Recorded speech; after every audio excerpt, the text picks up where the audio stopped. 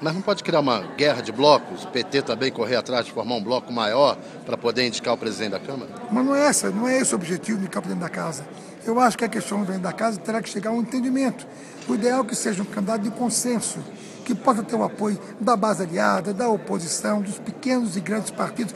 Isso é o ideal que essa casa deverá construir. Agora, isso vai ser mais, mais adiante, não é agora.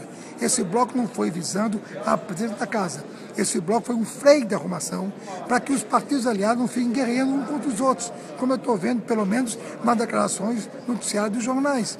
Espaços cada um ocupam hoje serem, portanto, invadidos por outros. Um partido isso, querendo o ministério do outro. É, eu acho que isso gera uma confusão que vai primeiro obrigar a presidente Dilma a apartar essas brigas e depois formar o seu governo.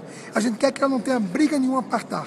Queremos respeito entre os partidos e aí ela possa montar como desejar, como achar necessário ao seu governo, o seu ministério, com a colaboração deste bloco consciente e responsável formado nesta tarde. Os partidos desse bloco, então, vão dividir os ministérios entre si.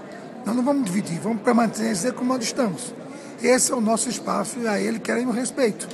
Aí então a ministra Dilma entendeu o que é necessário mexer, o que é necessário mudar, mas encontrando aqui um bloco que não está se atritando, não está guerreando entre si. Essa colaboração que nós estamos dando a definições próximas. Então por que, que não coloca Dilma? aí todo mundo? Coloca o PT, é aquela proposta do Lula de fazer um grande bloco com é todos possível, os partidos? É possível, o PT poderá conversar conosco e a gente com o PT, por que não? harmonizando, portanto, o discurso aqui para que a Dilma possa ter no seu tabuleiro, na organização do jogo, um quadro coeso, respeitador, transparente, verdadeiro, para que ela possa montar o seu ministério como desejar, encontrando aqui uma linguagem só de harmonia, de entendimento. Nós não estamos para confronto, nós estamos para ajudar, até porque nós temos muito mais compromisso com o governo Dilma, que ajudamos a eleger, do que com o governo Lula, que nós apoiamos já eleito.